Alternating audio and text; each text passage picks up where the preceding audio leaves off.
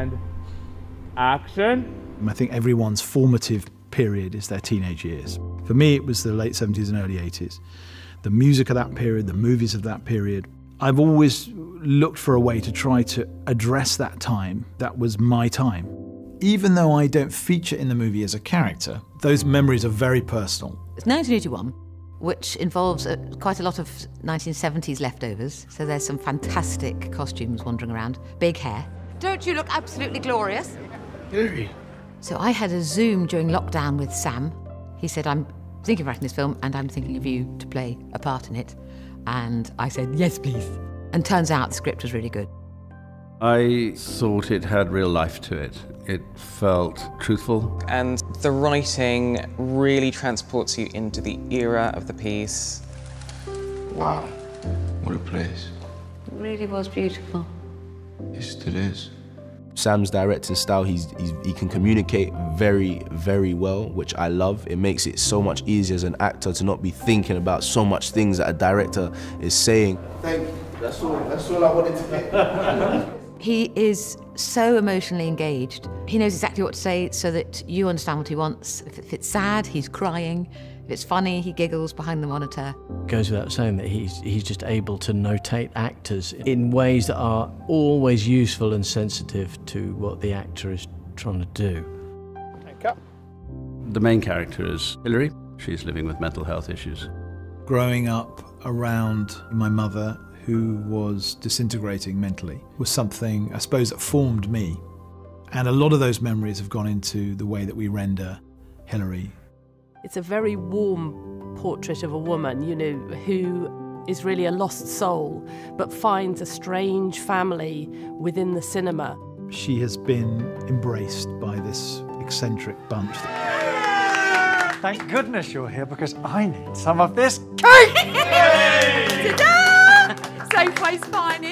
Safeway's finest. Everyone that I've been able to work with closely has been incredible, and we're all just on a journey. Just learnt so much from each and every one of them in different ways. Just sit in the middle of a bunch of people who don't know you, who've never met you. You can't even see you. You know, I've spent most of my adult professional life sitting in dark auditoria of various kinds. This is my home, you know. And then sitting alone as an audience member, losing myself. That little beam of light is escape. You know, I believe that. What? Show me a film. I want to see a film. It's a romance about a love of one character for another. It's a romance about a love of this particular world, about the beauty of the idea of cinema. It's not the size of the screen so much, it's whether you get a jump scare at the same time as 200 other people, or whether you cry at the same time as 200 people. We're not going out and congregating, there's probably a commonality that we're depriving ourselves of. I hope people come and see this film in that spirit.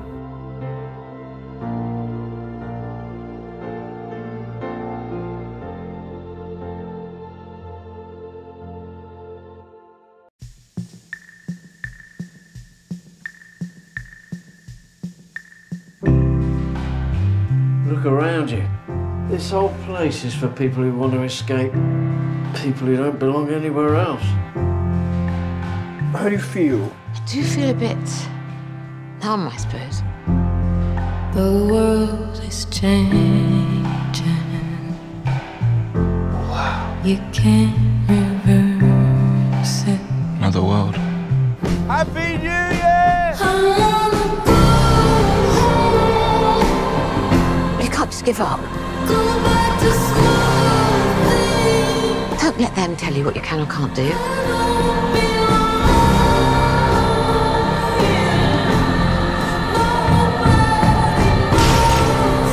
All these people. I'm the only one who knows the truth. Do you understand me? I'm the only one!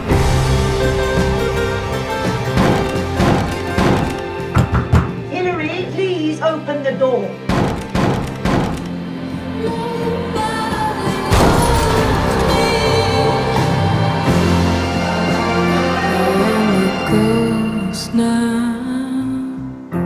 Here's to the future.